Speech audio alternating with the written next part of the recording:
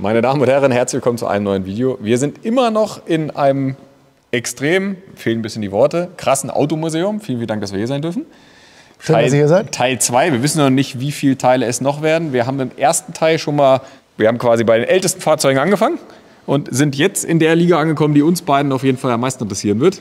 Ähm, also es ist alles höchstgradig interessant, muss man einfach so sagen. Ähm, aber jetzt halt so, ah, alleine schon der, der Blick hier so runter, der sagt schon alles. Ne? Ihr seht hier Ihr seht hier im Hintergrund das Auto mit der Nummer 24, das NASCAR von Jeff Gordon.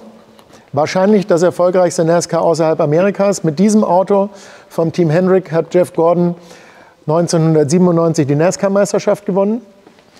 Dann ein IROC-Auto, International Race of Champions, bekannt dadurch, dass es 1974 mit Porsche losging. Ähm, dann mit Dodge und, äh, oder erst mit Chevy, dann mit Dodge. Mit diesem Auto ähm, hat Dale Earnhardt 1996 ein Rennen gewonnen und hat dann auch die IROC-Meisterschaft gewonnen. Das Besondere an dem Auto ist, der war 14 Jahre lang als Rennwagen im Einsatz. Das hast du heute auch nicht mehr. Krass. Ja. Also diese ganze NESCAR-Szene ist ja in, in, in Deutschland, Europa das kann man sich ja nicht vorstellen, was in Amerika bei so einem Nesca-Rennen abgeht. Ja. Also das ist wirklich, das ist ja für die übertrieben gesagt der Erfolgssport. Das ist ein bisschen wie bei uns im Museum. Man muss noch mal da gewesen sein, ja. weil es im, in, äh, im, im, Fernsehen und auf Bildern nicht so rüberkommt. Dafür, dass sie ja eigentlich übertrieben gesagt nur im Kreis fahren. Ja. So, ne? Aber trotzdem ist dadurch, dass die dadurch aber so eng beieinander fahren dauerhaft, dadurch kommt da die Spannung. Ne? Und mit 350 Topspeed, das ist schon, da ist schon was geboten. Aber in Deutschland können wir das auch. Und du wolltest auf den gehen? Äh? Auch noch nie live gesehen. So. Ja, jeder kennt die Rote Sau. Ja. Die Rote Sau war von AMG. Und AMG war damals ja noch ein unabhängiger Tuner. Und Mercedes hat das gar nicht so gerne gesehen, dass AMG dem mit der S-Klasse in den Motorsport geht. Man hatte aber selbst Rennmotoren schon entwickelt, die aber nicht eingesetzt.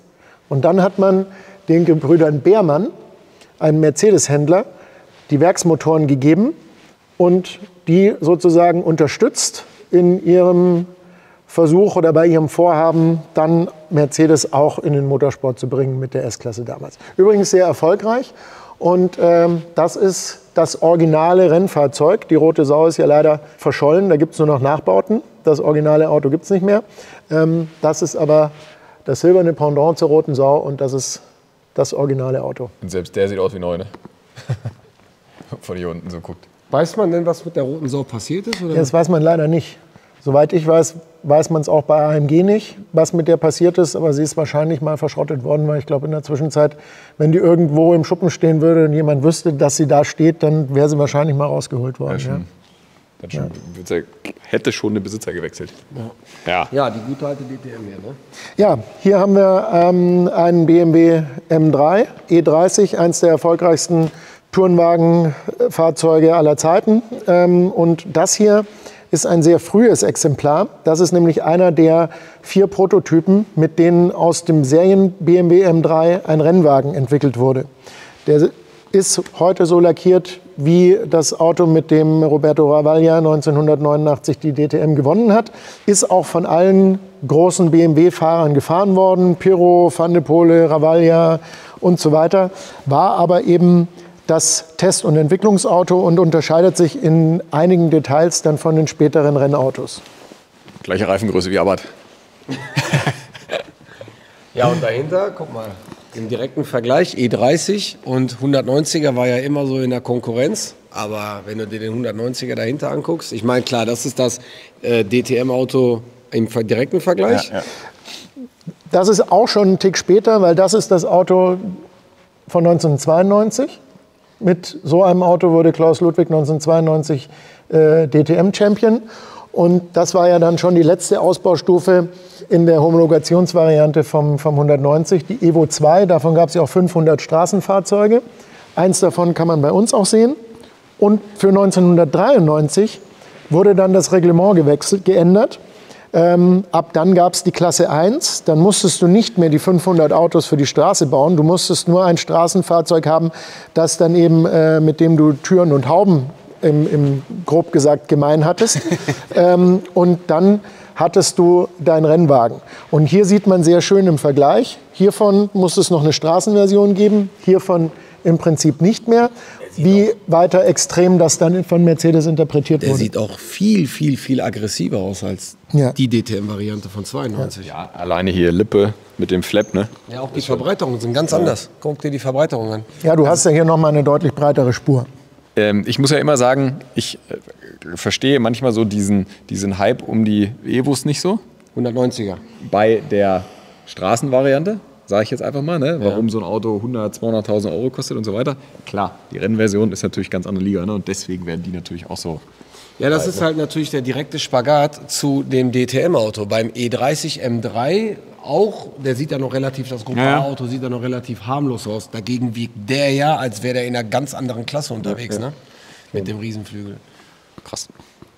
Und solche Autos sind auch theoretisch alle fahrbereit? Also Bei den Rennwagen ist es natürlich ein bisschen schwieriger, weil du ähm, teilweise dann Unterstützung von den Teams brauchst, um die fahrbereit zu machen, um die fahren zu lassen.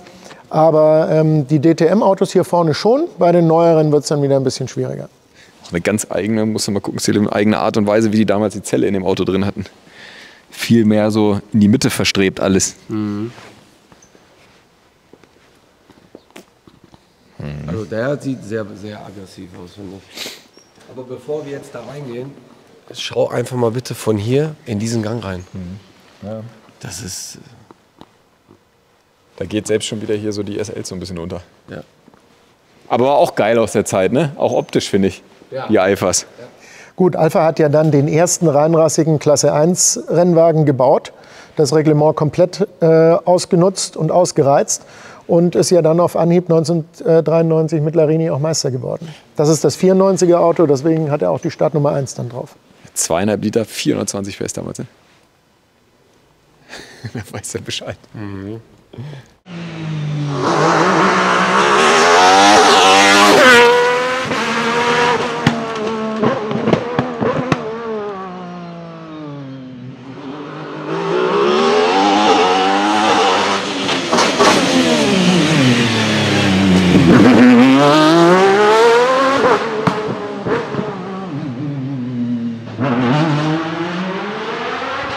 aber halt auch mal cool zu sehen ist, wie die, wie die eigentliche DTM dann so ihren Lauf nahm. Ne? Wenn du so den ersten E30 vorne siehst und dann so die Steigerung von Jahr zu Jahr, weil das ist dann ja wirklich hier dann final komplettes Rennauto. Ne? Ja, klar, da noch mehr, aber hier, weißt du, das ist ja schon noch Ja, ja. so Nee, B7, dein 2005, Auto. 2005 halt, ne? Ja. Da fand ich immer eindrucksvoll hier diese, diese Finnen, Flaps. Hinten. dieses Hinten. Ja. ja, und auch guck mal, wie du, wie du hier reingucken kannst und halt einfach vorne auf den Boden guckst. Ne? Jo, stimmt. Was da so aerodynamisch schon Ja so gut, geht. das hat ja nichts mehr mit dem B7 zu tun. Und auch des, und deswegen hat das dann hinten auch so eine Wirkung natürlich, ne? wenn das so hier durchgeht. Alter, hier. Gab's vom Kord nochmal die Carbonzierleiste. Ja gut, aber das Auto hat ja jetzt nichts mehr mit dem B7 zu tun eigentlich. Nee. Das ist wieder ganz modern, oder? Ja, das ist ja 2019. Ja, das ist der, das ist der letzte neu entwickelte Rennwagen nach Klasse 1 Reglement für 2019, der Aston Martin Vantage. Nach 2019 gab es ja dann die Klasse 1 nicht mehr. Dann fuhr, fährt ja die DTM jetzt mit GT3-Fahrzeugen. Das ist der letzte. Davon gab es auch nur fünf Stück. Vier als Rennwagen, ein Ersatzfahrzeug. Und ähm, wir sind in bester Gesellschaft, denn das Ersatzfahrzeug hat sich jetzt Fernando Alonso gekauft. Ah. Aber rein rassige Rennautos, ne? Reinrassige Rennautos. Eigentlich, wi- wirklich, darf man sich hier draufsetzen? Ja. Müsste man sich den ganzen Tag hier mit so einem Kaffee hinsetzen so und äh, Einfach nur Autos genießen. einfach hier so schön Autos genießen. Ja, das ist schon krass, was da gleich noch kommt. Nein, alleine diese Kulisse, guck mal, also echte Renn äh, Formel 1 Fahrzeuge dahinter mit so einem Original Ferrari äh, Transportauto, rechts hängen Autos, hier werden die Autos gestapelt wie ne, in so einem in so einem Modellbau und wir reden ja über alles über echte Autos. Ähm, das hier Original Formel 1 Auto? Das ist ein originales Formel-1-Auto, aber nicht einfach nur ein originales Formel-1-Auto. Im Jahr 2000 ist es ja dann endlich gelungen, die Formel-1-Weltmeisterschaft zurück zu Ferrari zu holen. Und das ist das Auto, mit dem Michael Schumacher das geschafft hat. Eins von vier, das er in dem Jahr genutzt hat. Und mit genau diesem hat er den großen Preis von Kanada in Montreal gewonnen. Kann man sich mal so gar nicht vorstellen, ne? Ja. Ich werde auf jeden Fall auf dem Rückweg bei YouTube einmal Kanada GP 2000 eingeben Ja. und werden mir das Auto angucken, wie er damit gefahren ist.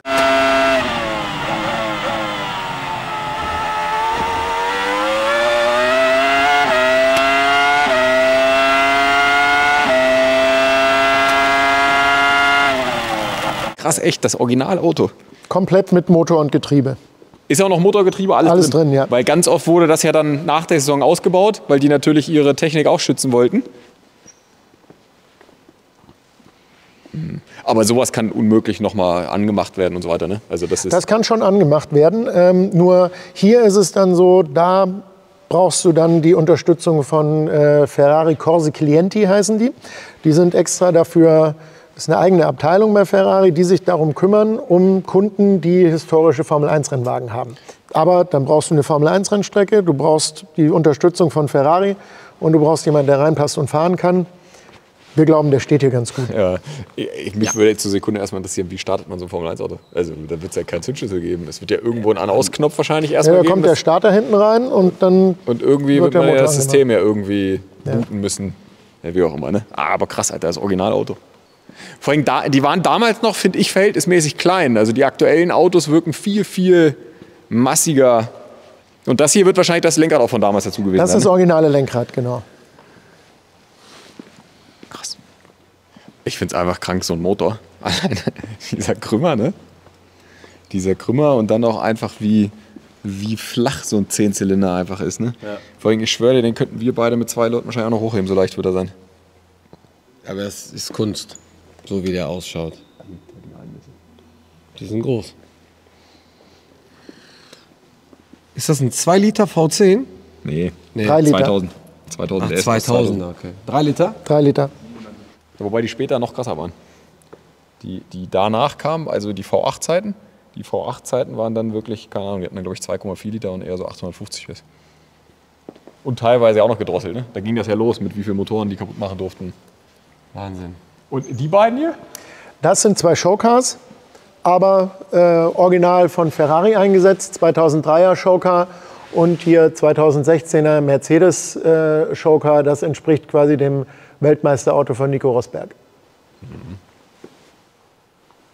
Und du, und du kannst dir sicher sein, kein einziges Teil hier dran wird nur aus Zufall da genauso sein, ne? sondern da wird sich bei jeder kleinsten Finne, wird sich irgendein Ingenieur irgendwas beigedacht haben. Ne? Und guck mal, wie viel das so ist. Wie das alleine nur dieser vordere Teil so. Ja, das ist das Weltmeisterauto von Mika Häkkinen 1999. Da hat McLaren Mercedes quasi verhindert, dass Ferrari schon Weltmeister wurde. Gegen Eddie Irvine, weil Michael Schumacher sich ja damals in Silverstone das Bein gebrochen hatte. Und ähm, mit diesem Auto hat äh, Mika Häkkinen den großen Preis von Brasilien gewonnen 1999. Das ist der Konstrukteurspokal Aus Jap vom Japan Grand Prix. von Japan. Also in, in Japan war das letzte Rennen ähm, der Meisterschaft und da wurde dann der Konstrukteurspokal verliehen und deswegen hat uns Mercedes den hier geliehen. Der gehört uns nicht. Vor allem auch selten, dass man tatsächlich mal ein Auto hat mit angefahrenen Reifen. Meistens sind ja immer frische Reifen drauf, weil hier hat man tatsächlich mal zwei, die mal gefahren wurden. Aber hier sage ich immer wieder, mit das schönste Formel 1 Auto, was ich kenne. Ich finde, hier sieht man krass auch ähnlich wie bei der DTM. Das ist ein Formelauto ohne viel Firlefanz dran. Dann ging das so langsam los mit den ganzen Flaps, Spoilern, hier nochmal eine kleine Lippe und so weiter. Ne? Und dann halt so, ne? Und das ist ja auch schon wieder ein paar Jahre alt. Aber optisch ist das für mich mit, mit der schönste. Hammerauto. Ja, und mit genau diesem Auto, auch komplett mit Motor und Getriebe, hat der große Ayrton Senna damals den großen Preis von Monaco gewonnen, 1989. Gegen Alain Prost, dem er im Qualifying, wenn ich mich richtig erinnere, schon eine Sekunde abgenommen hat auf identischem Material. And Thierry Boutsen in third position has taken nearly one second out of the lead of the two McLarens. You can see for yourself, and you can see where Mansell is. Third, second, third, fourth, and and Martin Brundle still in fifth position. A great Monaco Grand Prix. Decidor sixth. Allem ist noch so richtig minimalistisch, ne? Ist halt viel, viel weniger dran. Er ist noch sehr clean, ne? Viel, viel breitere Spur vorne als hinten gefühlt, ne? Damals sind die echt so zur Rennstrecke gefahren? Ja, das war damals auch schon ein großer Fortschritt. In den 50er Jahren ähm, standen die Autos noch draußen. Da sind drei Autos äh, quasi Open Air zu den Rennstrecken gefahren worden. Auf Achse. Wie? Auf Achse. Und ähm, das war dann ab äh, 66 war das dann ein großer Fortschritt mit dem Rolfo hier. Da konnten die Autos dann sauber und trocken im Inneren des Autos transportiert werden. Ähm, von diesem Rolfo-Renntransporter sind damals zwei Stück gebaut worden für Ferrari. Das ist einer davon. Da freuen wir uns besonders, dass wir den hier so zeigen können und eben zeigen können, wie die Autos damals zu den Rennstrecken gekommen sind, in Europa natürlich, aber nicht nur zu den Formel-1-Rennen, sondern auch zu den Langstreckenrennen und eben in dem Zusammenhang auch nach Le Mans beispielsweise. 1,5 Liter V12 Formel 1 damals.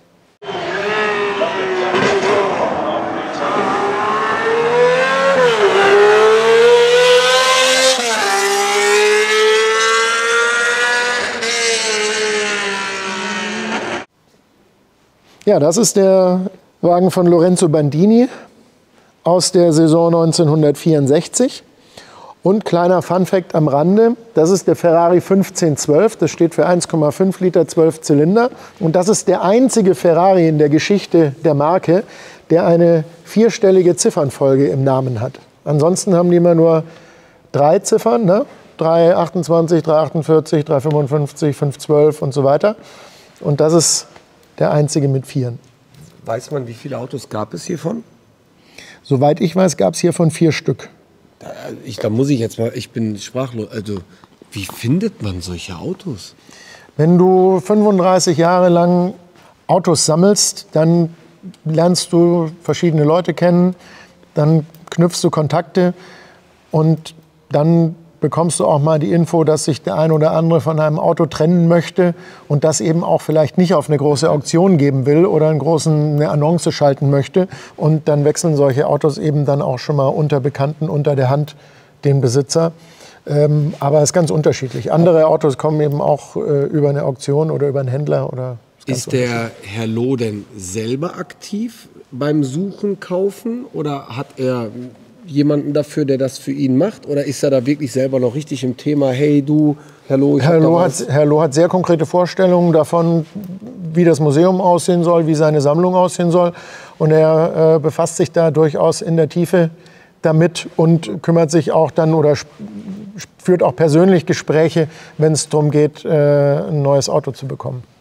So, hier haben wir jetzt, wie ich sagte, später dann V8 2,4 Liter, 820 PS. Ne? Überleg mal, haben die das 820 gemacht? PS aus 2,4 Liter. Ja, relativ einfach, Alter.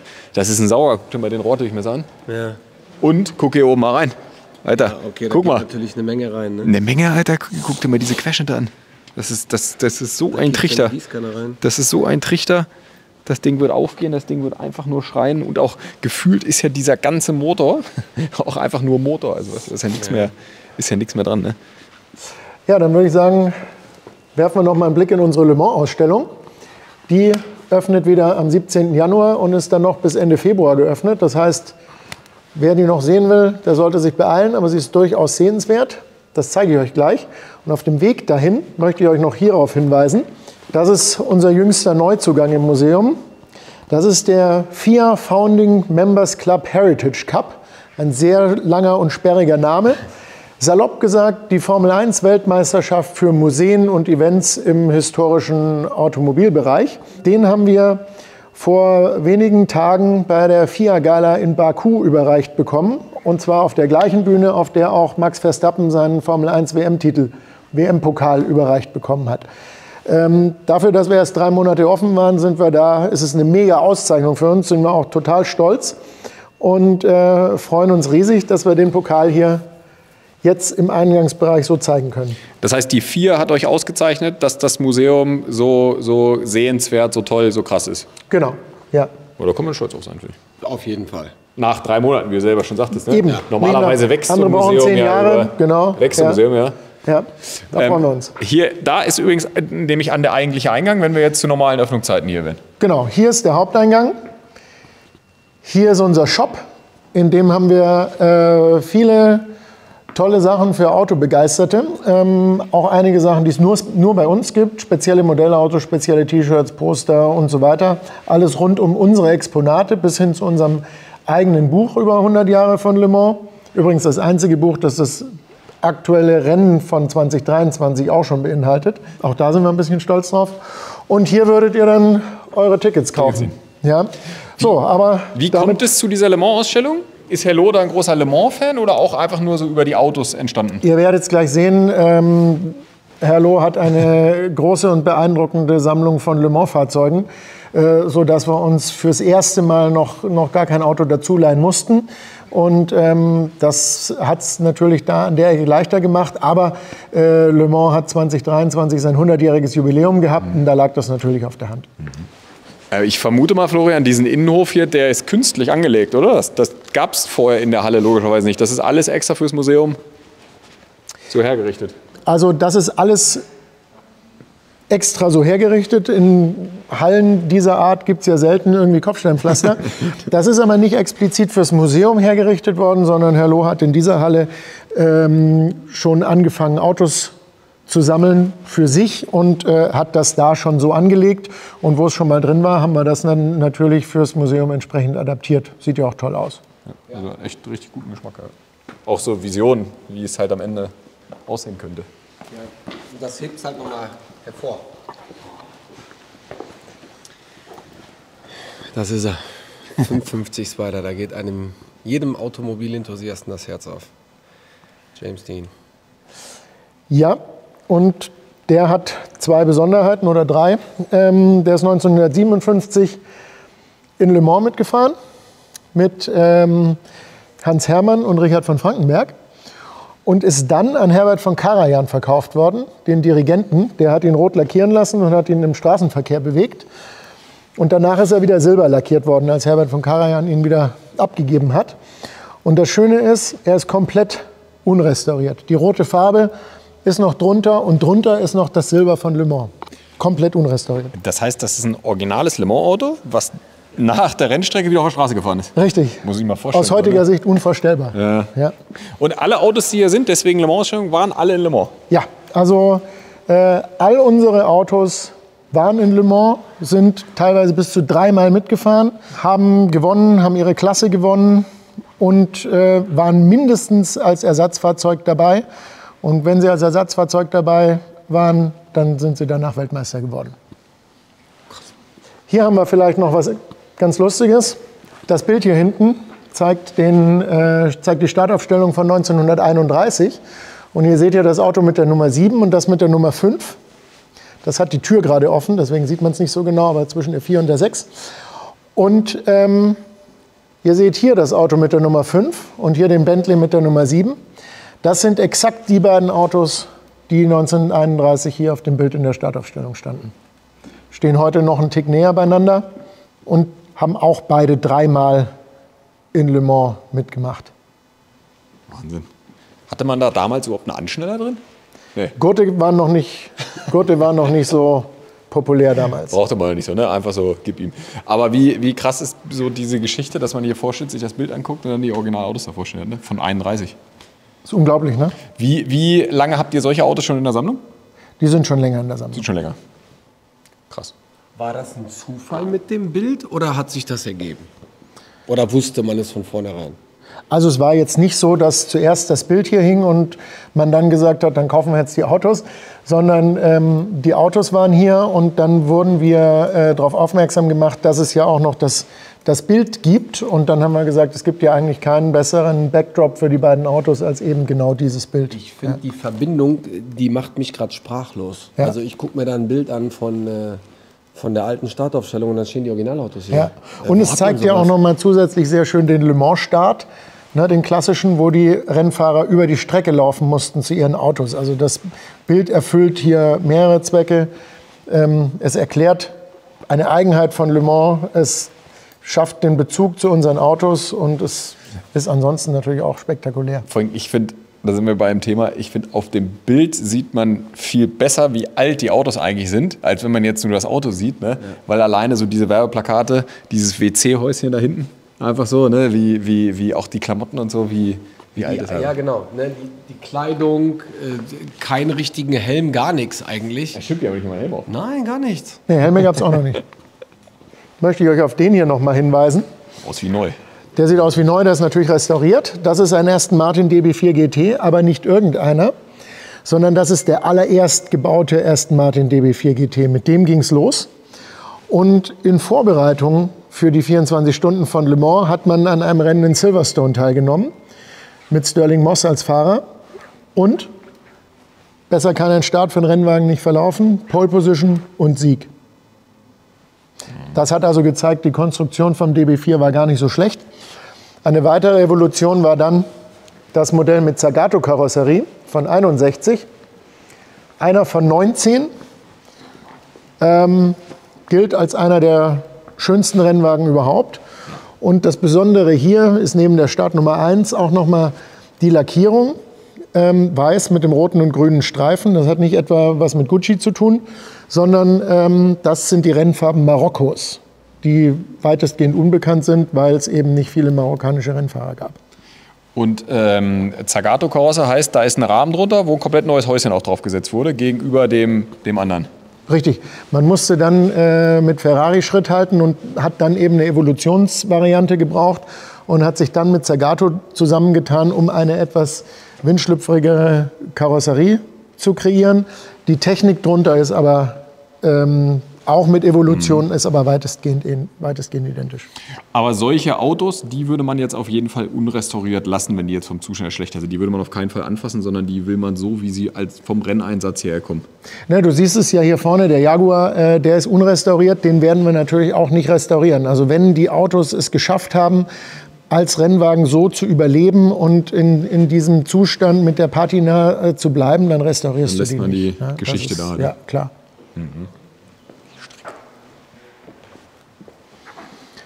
Ja, dann hier sicherlich eins der Highlights der Sammlung.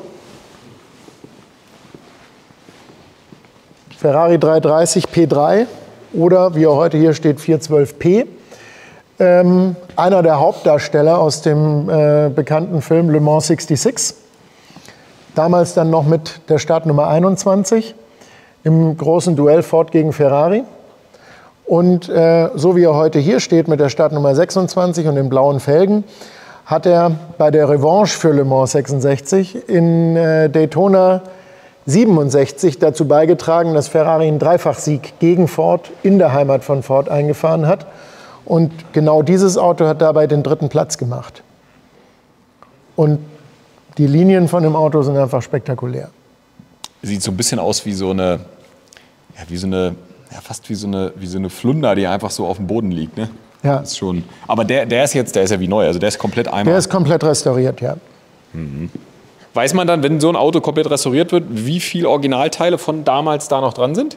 Weil sowas wie so, so Scheinwerfer, ähm, Verglasung davor und so, das kann man ja auch schlecht aufarbeiten. Also das, das kann man ja einfach nur, nur neu dann machen. Da sind viele Neuteile dran. Es ist natürlich so, das war halt irgendwann ein alter Rennwagen. Also nachdem er äh, die So- Saison 67 zu Ende hatte, ähm, wurde er dann als Rennwagen noch weiter genutzt, war aber dann irgendwann auch nicht mehr ähm, auf, dem, auf dem höchsten Niveau Ja, ja. und wurde dann zum Spider umgebaut und so weiter.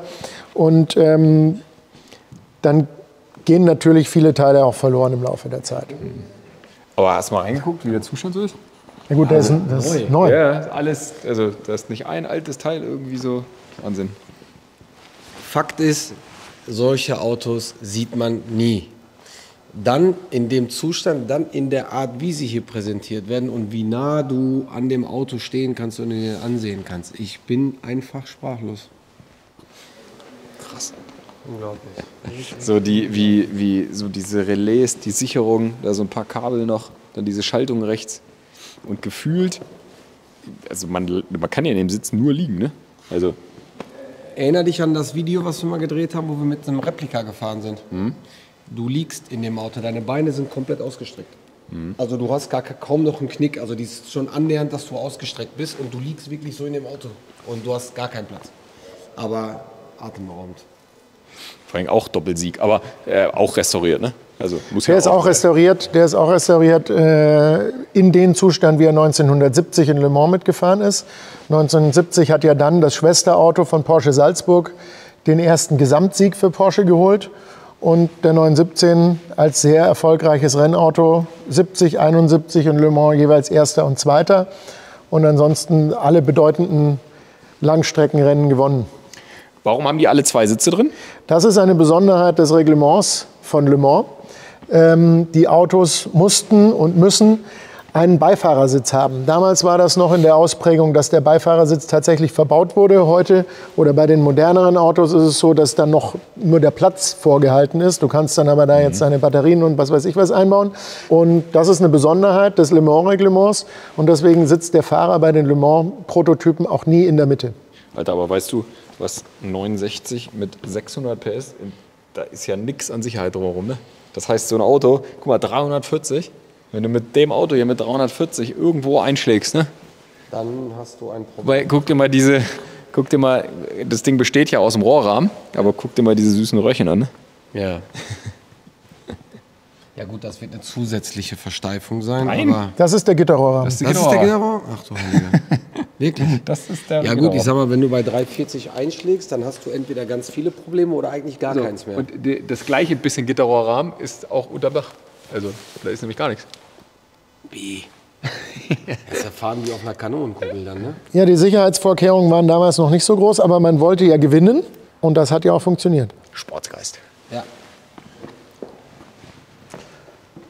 Ja. Ja, dann haben wir hier noch was ganz Besonderes gleich ganz andere Liga. Ich meine, klar, sind ja auch 35 Jahre zwischen. Also liegen ein paar Jahre dazwischen. Audi ist der zweiterfolgreichste Hersteller in der Geschichte von Le Mans. 13 Gesamtsiege. Zwölf Autos von diesen 13 Gesamtsiegen hat Audi in seiner eigenen Sammlung.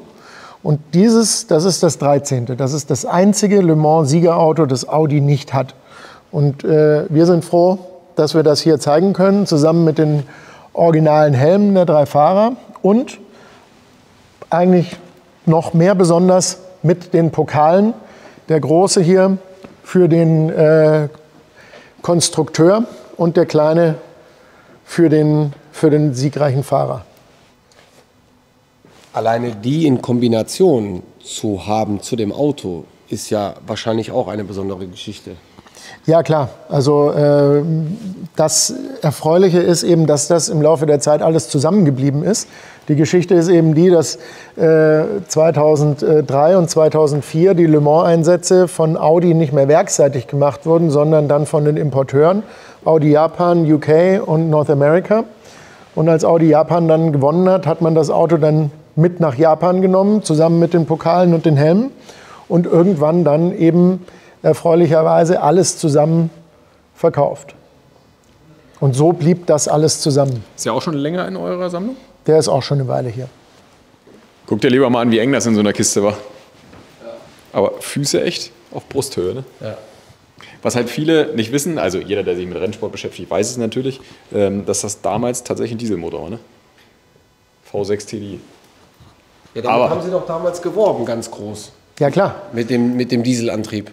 Das war ja die, die Idee von Ferdinand Piech, der gesagt hat, man muss mit einem Diesel Le Mans gewinnen können, weil man das mit den Turbos auf die gleiche Leistung bringen kann, auf das gute Ansprechverhalten, aber dann eben den Verbrauchsvorteil hat gegenüber dem Wettbewerb. Und das hier ist ja sogar noch ein Dieselhybrid, dann eben schon die nächste Ausbaustufe, der ja dann als äh, Allrad fährt, wenn, die, wenn der Elektromotor die Vorderachse antreibt. Er fährt aber nie ganz elektrisch, oder anders gesagt, wenn er rein elektrisch fährt, dann ist irgendwas kaputt. Mhm. Dann geht es zurück in den Boxengasse. Aber sieht man hier sogar krass. Ich finde halt immer wieder krass, Elektromotor, Antriebswelle, die andere geht hier durch. Kann ja auch mal kaputt gehen, so, ne? Dann ja. ist halt ganz, ganz schnell Bremse und so weiter weg. Aber guck mal, selbst Pedalerie, alles aus Carbon, da ist wirklich kein Gramm an so einem Auto zu viel dran. Ja, und jetzt, wie filigran die Bauteile sind und die aber in 24 Stunden Dauerfeuer ja. durch äh, benutzt werden. Ne? Und das hält. Oder muss halt halten. Muss ja. Krass. Aber die Sitzposition und die, die Platzgegebenheiten sind schon. Äh, aber ja. hier, das ist halt auch ein Monster. Ne? Guckt euch mal hier den Turbolader an für so ein TDI. Ne? Und damals auch schon ähm, beide Bänke quasi ins Abgasgehäuse rein. Auch zwei Druckseiten, die dann hier rangehen. Ja, und vor allem der Winkel, ne? Ist auch sehr Das weit. ist fast ein Boxermotor, ne? Ja. Viel fehlt da nicht mehr. 558 PS. Krasses Ding. Ich denke mal, ja. Ich denke mal schon, dass die auch mit, also die hätten mit Sicherheit viel, viel mehr Leistung fahren Ja. können. Aber selbst damals wird das schon so gewesen sein, dass sie das natürlich am Ende wieder ausgeglichen haben. Aber halt, ne, hier. Aber was ist das hier? Das hier, das ist, das macht man im Rennsport so. Du hast für, das ist Hauptkabelbaum und ein Verteiler für die ganzen Sensoren. Und dann steht hier zum Beispiel Oil Level. So, ne? Also das ist der Sensor für Ölstand. Ähm, dann ist hier Injektor, Injektor, Fuel, Temperatur, also ähm, Benzin. Das heißt also wirklich, P- zwei Hauptchecker ran, ist das Ding am. Genau, P-Crank, ganz, äh, P-Drucksensoren ganz viel für Pressure. Also der hat wirklich alles gemessen. Genau, du gehst nur hier dran und fertig. Ja, wenn man heute Le Mans 1999 googelt, ähm, dann kommen Bilder von fliegenden Mercedes-Fahrzeugen. This is an awful accident. An awful accident. He moves out of the slipstream of the Toyota and the car just takes off. That looks horrifically like a replay of what happened to Mark Webber, who I hasten to add, but that's a big impact.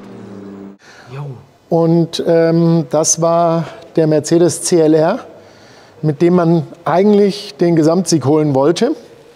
Ähm, aber es gab irgendein aerodynamisches Problem und äh, deswegen musste nach zwei Unfällen von drei Autos dann das dritte aus dem Rennen genommen werden.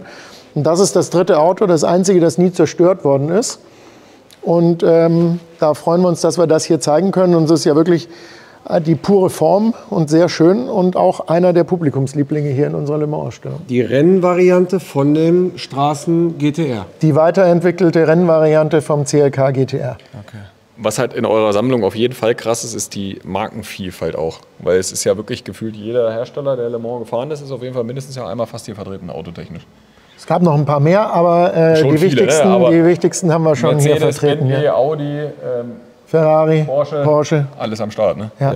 Ja. Hier hinter euch haben wir dann noch den Porsche 956, der 1984 den zweiten Platz in der Qualifikation in Le Mans gemacht hat.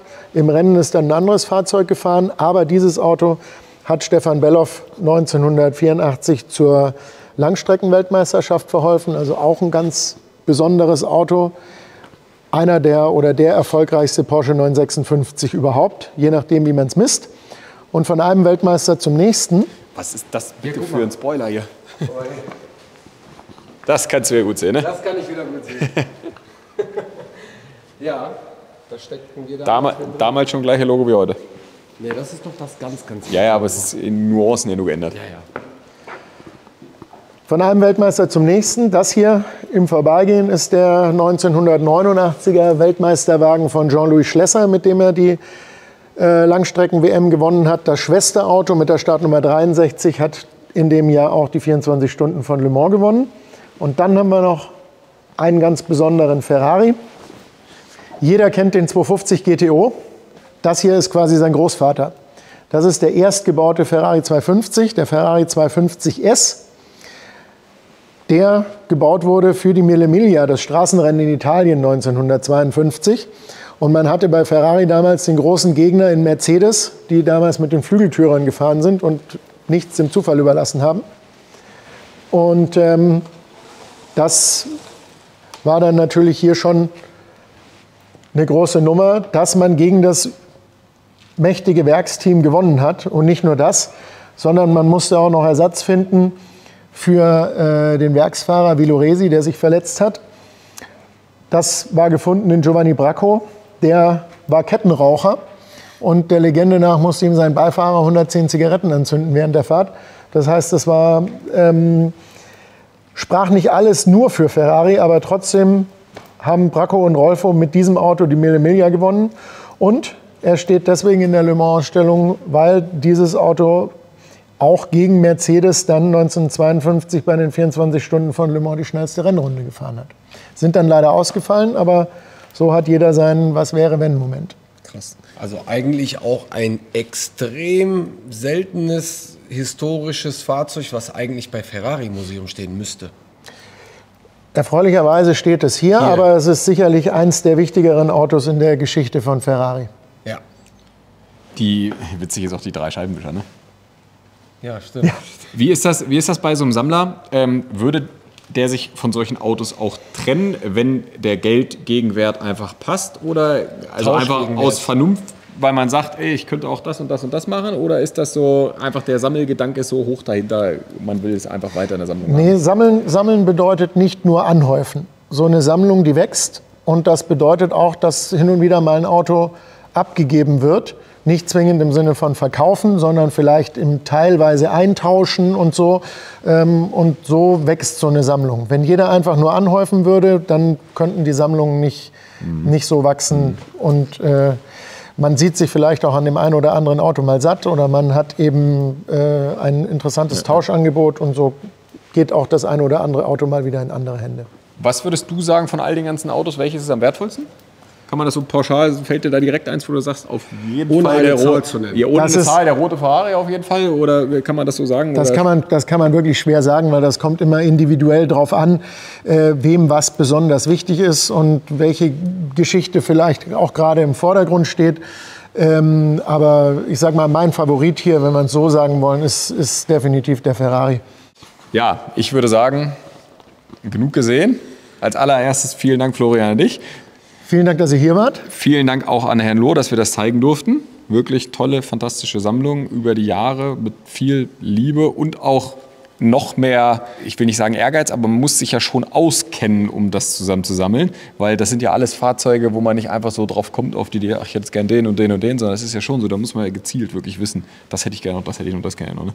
Und das, denke ich mal, macht die Sammlung hier auf jeden Fall aus. Wenn ihr vorbeikommen wollt, äh, ab 17.01. ist wieder auf. Ab 17.01. ist wieder auf. Wir freuen, euch auf, wir freuen uns auf euren Besuch. 24 Stunden Le Mans Ausstellung, auch nicht mehr so lange. Die ist äh, nur noch bis Ende Februar hier und dann haben wir ähm, noch mal kurz für den Umbau geschlossen für die nächste Sonderausstellung. Und ab 23. März ist das Museum dann komplett wieder geöffnet mit neuer Sonderausstellung und auch da freuen wir uns auf euren Besuch. Kommt vorbei, lohnt sich auf jeden Fall, gibt richtig was zu gucken. Waren auch ganz viele, denen habe ich im Vorfeld gesagt, wir fahren hin. Die sagten, oh, kannten sie genauso nicht wie ich. Also ich bin mal gespannt, was passiert. Wir können auf jeden Fall versprechen, wir werden wiederkommen. Wir werden zur nächsten Sonderausstellung wiederkommen. Ja. Oder ihr sucht ja immer Leute, die Autos Probe fahren, haben wir ja unten auch gelernt. Ne? Sonst kommen wir auch gerne vorbei. Und ja. Nein, also wirklich vielen, vielen Dank. Und äh, ich glaube, ich spreche für uns beide sprachlos. Man Ja. kann es nicht anders sagen. Wenn, Das ein, freut mich. wenn ein Auto fahren dürftest, welches würdest du nehmen? Aber gerade ganz kurz, ich weiß es. Also gut, absolut. Mein Favorit ist der CLK GTR Roadster. Ansonsten, aber ich, ich, wüsste könnte. sofort. Ich, Ich wüsste sofort. Äh, Sag. Schumacher Formel 1 Auto. Ganz einfach so. Die Chance hast du nur einmal im Leben. Ja, stimmt auch wieder. So, Ja, so ein originales. Formel 1 Auto gibt damals. zu viel. Es gibt nur, nur- nur so Porsche, alleine nur alles. mit dem Ding, noch nicht mal schnell auf Rennstrecke, nur so losfahren, die Gänge durchschalten Willst du und so. aufhören, willst du anfangen? Ja, Ferrari, Nee, 917. Ich würde würd bei dem Schumi Formel 1 Auto. Zu viel. Ich würde Schumi Formel 1 Auto anfangen. Gut, ihr Lieben. In diesem jetzt Traum lassen wir es. Vielen, vielen Dank fürs Zuschauen. Tschüss Vielen, vielen und bis zum nächsten Mal. vielen Dank. Danke. Ciao. Ciao. Ciao.